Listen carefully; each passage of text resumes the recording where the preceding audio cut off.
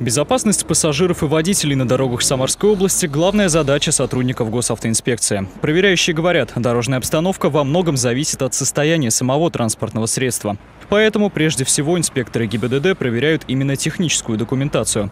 В рамках месячника по безопасности дорожного движения комиссия контролирует техническое состояние грузовых автомобилей, проверяет наличие необходимой путевой карты, а также законность перевозочной деятельности. Кроме того, инспекторы следят за соблюдением водителями режима труда и отдыха. Самые массовые нарушения у нас э, со стороны водителей грузовых автомобилей – это несоблюдение режима труда и отдыха, а также отсутствие на транспортных средствах специального технического устройства, называемого тахограф, э, который призвано следить за тем, как водитель выполняет свои трудовые обязанности.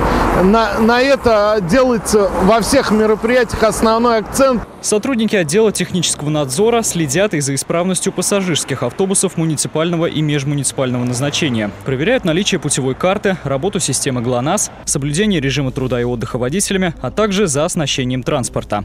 Необходимые условия для автобусов – наличие багажного отделения. Его отсутствие – самое распространенное нарушение.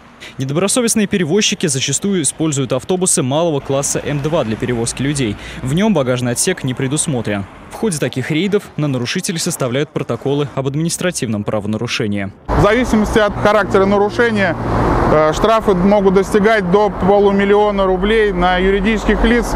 Такие штрафы, как э, отсутствие карты маршрута, отсутствие договора страхования пассажиров, а также отсутствие лицензии на перевозку пассажиров. За 10 месяцев этого года проверяющие выявили более 4600 нарушений правил дорожного движения как водителями автобусов, так и грузового транспорта. В отношении должностных лиц собрано более 1800 административных материалов, а в отношении юридических – около 300.